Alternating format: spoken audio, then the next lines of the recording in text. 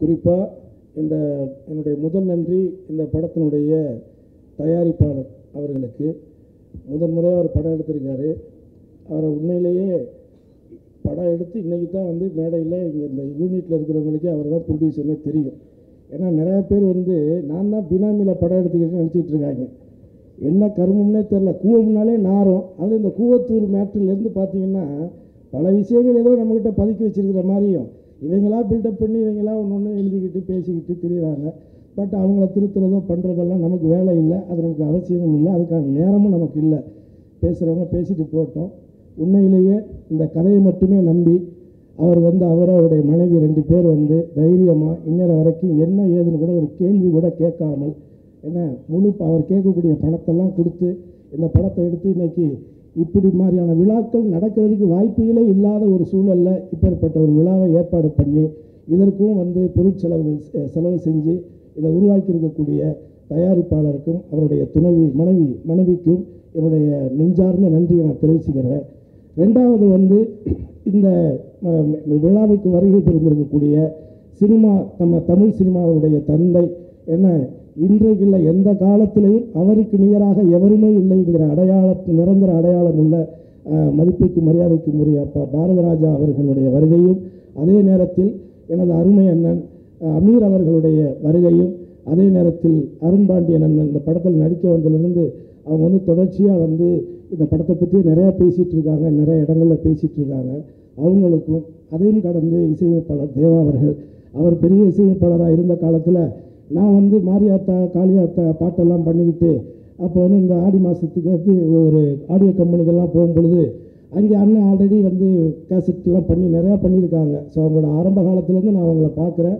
அதை தாண்டி அவருடைய பையன் இப்போ பார்க்குற ஸ்ரீகாந்த் தேவா அப்போ வந்து ஒரு ஒரு ஒரு விரல் பூச்சி அளவு தான் இருப்பார். இத்தினூண்டா உள்ளியாக இருப்பார். மூஞ்சியெல்லாம் பருவாக இருக்கும்.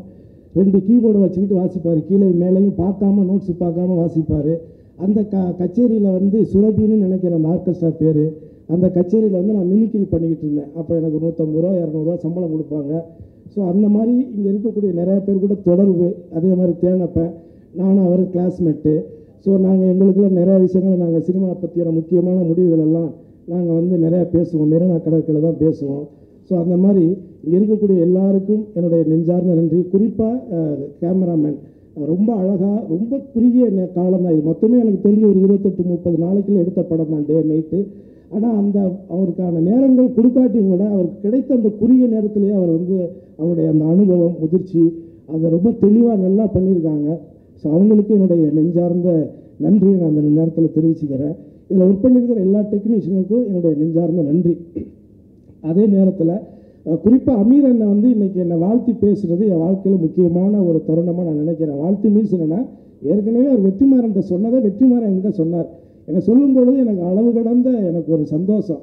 இது என்னென்னா அமீர் அண்ணன் முத முதல்ல ஒரு படம் எடுக்கும் பொழுது அந்த படத்தில் அதுக்கு அடுத்து ராம்னு ஒரு படம் அவருடைய சொந்த தயாரிப்பில் எடுக்கும் பொழுது அதில் வந்து ஒரு கதாபாத்திரம் முக்கியமான கதாபாத்திரம் நான் தான் நடிக்க வேண்டியது. என்னைத்தான் கூப்பிட்டு ஃபோட்டோ ஷூட்லாம் எடுத்தார். அப்போ சசிகுமார் சார் வந்து அவர்கிட்ட உதவியாளராக இருந்தார். நான் அப்போ ரொம்ப நிறைய படங்கள் நடிச்சிட்டு இருந்த டயத்தினால இங்கேருந்து ஹார்பரில் போய் நானே கார் ஓட்டிகிட்டு போய் அந்த காட்சியில் நடித்து கொடுத்துட்டுலாம் வந்தேன். அதுக்கப்புறம் அவங்க நண்பர்கள் ரெண்டு பேருக்கு நடந்த விஷயத்த நான் வேடிக்கை மட்டும் பார்த்துக்கிட்டு இருந்திருக்கணும். அது தேவையில்லாமல் ஆர்வ கோளாறுல சில விஷயங்கள் நமக்கு வரும்ல.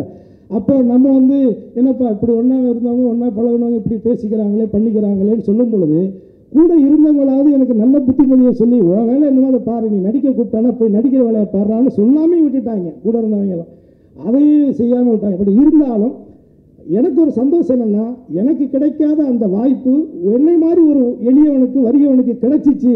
அதை அவன் சரியாக பயன்படுத்திக்கிட்டானா இல்லையாங்கிற எனக்கு வருத்தம் இருக்குது ஆனால் அந்த நடிகனுக்கு அது கிடைச்சிச்சு. ஒரு புதிய நடிகனுக்கு கிடைச்சிச்சுங்கிறது எனக்கு மனப்பூர்வமான ஒரு சந்தோஷம். இருந்தாலும் அப்பேற்பட்ட ஒரு இயக்குனர் பருத்திவீரன் படத்தை கதையெல்லாம் நான் கே லைனை மட்டும் கே சொல்லி அப்போ நான் வந்து பேசியிருக்கோம்.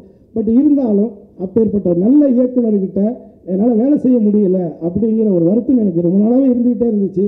ஆனால் அதை இன்றைக்கி வந்து அவருடைய வாயால் என்னை வந்து ஒரு ஒரு மிகப்பெரிய லெஜண்ட் நாயே சாரு கூட ஒப்பிட்டு அவர் சொன்ன அந்த வார்த்தையை என் வாழ்நாளில் நான் ரொம்ப முக்கியமான ஒரு பாராட்டாக நான் எடுத்துக்கிறேன். அதே நேரத்தில் வந்து இந்த கழுதையில் வந்து பாரதிராஜா சார் தான் இதில் ஒரு முக்கியமான கதாபாத்திரம் நடிக்கிறதா இருந்தது.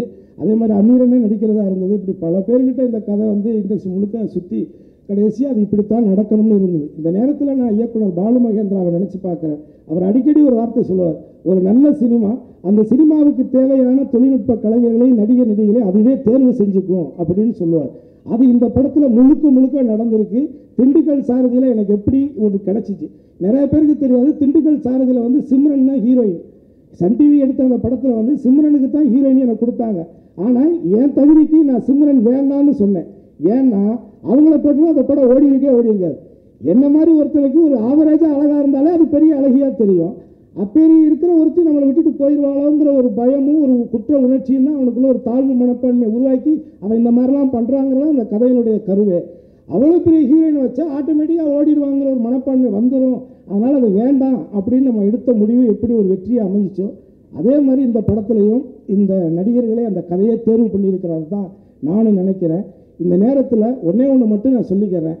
ஆயிரம் பேர் ஆயிரம் விமர்சனங்கள் யாரை பற்றி சொன்னாலும் பொது வாழ்க்கைன்னு வந்துட்டால் விமர்சனங்கள் இருக்கத்தான் செய்யும். அதை நம்ம ஏற்றுக்கிட்டு தான் போகணும். அது ஒன்றும் பிரச்சனை கிடையாது. நாமளை மாதிரியான ஆட்கள் நம்ம நம்மளை மாதிரி வாழணும். இதே நந்தாவுடைய படம் நான் முதன் முதலாக நடித்த அந்த நந்தாவுடைய கோர்ட்டு காட்சி இதே இடத்துல தான் செட்டு போட்டு எடுத்தாங்க.